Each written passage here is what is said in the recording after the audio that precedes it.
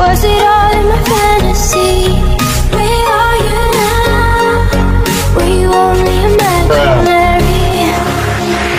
Where are you now?